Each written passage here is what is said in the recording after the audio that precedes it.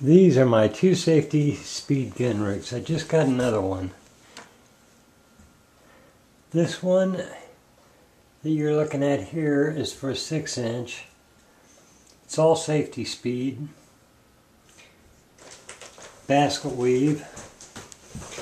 And my cat's on the scratching post if you can hear that. This is basket weave. It's got the double dump pouch belt keepers. Safety Speed is a great company. They're no longer around, and that's a pity. It's a damn shame because they were a very, very good leather company.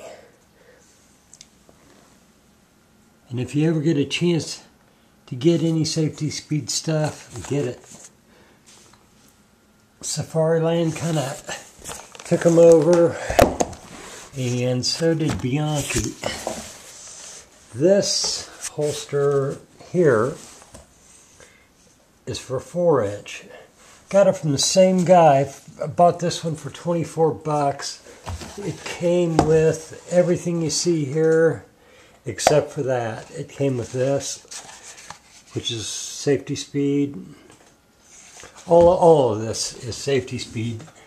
But there's one very, very cool thing about this, and I want to show it to you on the back. That's actually a single dump pouch.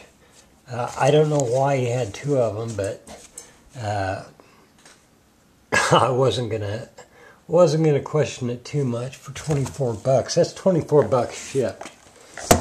This is what's cool.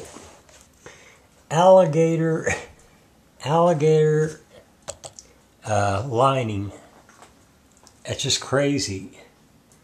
I've never seen a belt, a gun belt, with alligator lining. It's the damnedest thing I ever saw. But what these are, I call them my Barney Fife rigs. Because this is pretty much the rig that Barney used on the old Mayberry, uh, Mayberry RFD Andy Griffith show. And I wasn't sure whether he had a four inch or a six inch uh, six inch Colt. I think it was a four inch Colt. But I got this six inch one first. And then I got a four inch one. I think that was about, I don't know, 12 bucks shipped. But yeah, I got that and everything you see here for uh, I think 24 bucks shipped in total. So anyway, if you ever get a chance to get safety speed, go for it. Because they're no longer in business. They no longer make these. And they made some beautiful, beautiful gun rags.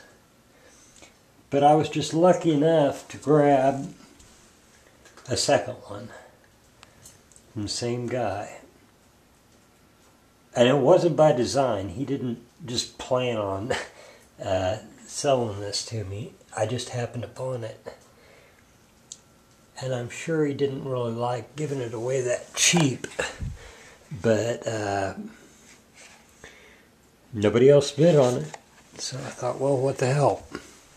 Take it easy. Enjoy.